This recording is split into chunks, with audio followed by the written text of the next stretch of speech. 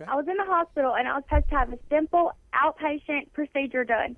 There, but I woke up 12 days later in like critical condi- critical condition. It was really bad with all kinds of pumps in and out of me. They went in to remove a um a gallstone. I'm trying to make this as brief as possible. They went in to remove a gallstone. Well, he accidentally stabbed through my gall duct, it, my my bile duct, and sent feces up my whole bloodstream. So they had to cut me open, and they had to take out all my organs and clean it with saline.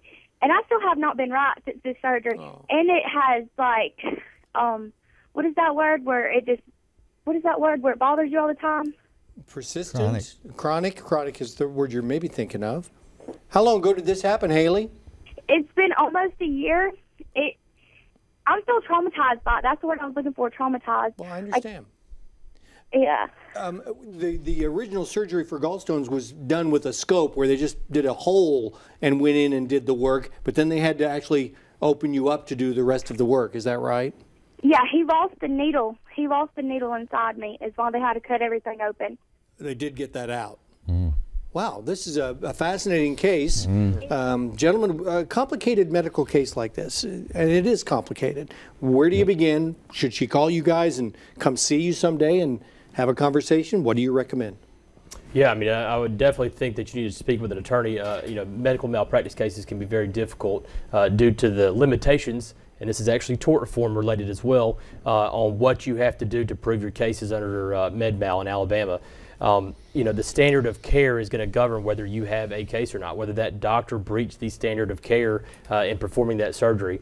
Uh, I'm so sorry this happened to you, but uh, I would definitely seek the assistance of an attorney just to get an opinion on whether or not uh, that doctor did in fact breach that standard of care, uh, which will take another doctor's uh, opinion of the same qualifications to see whether that, that standard of care was breached. I'm not an attorney or a doctor, but if they leave a needle in you, isn't that a problem? Well, you'd think that that would be a good case, but I tell you, Mike, the way it's the deck is stacked against people that are injured by- medicine today, I think it's the the worst example of injustice that people have. Because And- it boils down to a doctor testifying against another doctor. well, yeah.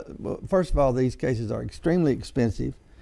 If, you have to be very talented as a lawyer to, to prosecute one, and because of that, there's only a handful of good medical malpractice lawyers in the state of Alabama. A handful.